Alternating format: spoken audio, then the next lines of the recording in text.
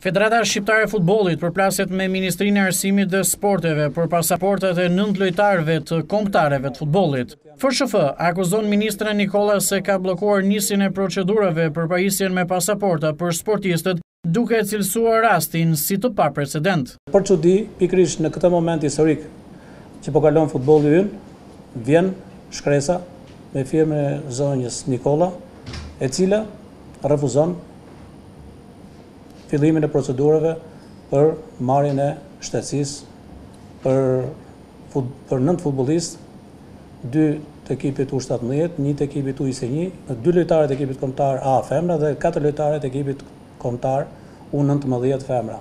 Ne i bëjmë thirrje edhe një herë dikasterit dhe në veçanti ministres Nikolla që të rishikojë edhe një herë vendimin e marrë dhe të rifillojnë fillimin e procedurave për marrjen e nënshtetësisë të këtyre futbollistëve. Gjithashtu, zëvendëssekretari i Përgjithshëm i FSHF-së, Besnik Çela bën publike përgjigjet e ministres Nikolla në lidhje me këto raste.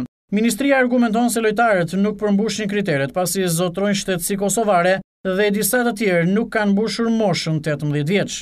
Sportistët që iu është refuzuar pajisja me pasaportë janë Ismet Sinani, Sara Maliqi, Naime Merovci, Ron Broja, Greta Haziri, Antigona Behluli, Blerta Shala, Majlinda Kadolli dhe Lirim Kastrati.